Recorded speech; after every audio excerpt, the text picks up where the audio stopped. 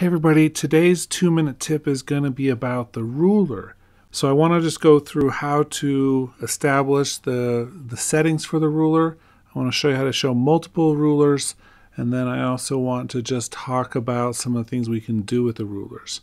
So first of all, this is a setting inside your project settings. You can come through here and you can decide the project type. If you use a musical grid, the primary ruler will be split into bars and beats. If we turn this off, it goes into minutes and seconds. So that's the primary way to do this. Now, one thing to note is that if you turn this off, tempo information will no longer be recorded in audio files. And of course, part of that's because it's not referencing that tempo information. So let's turn that back on for now. But that's the main way to switch the primary ruler.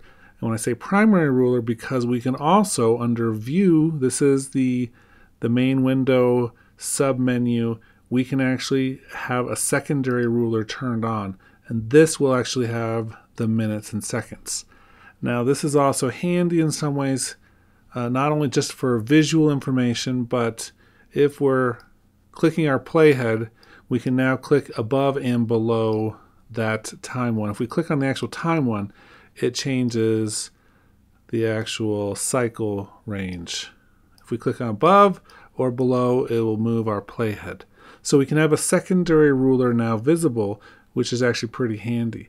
The other thing in that same window would be to set up the marquee ruler, which is super handy. Without having to go to the marquee tool, we can make an overall global marquee selection.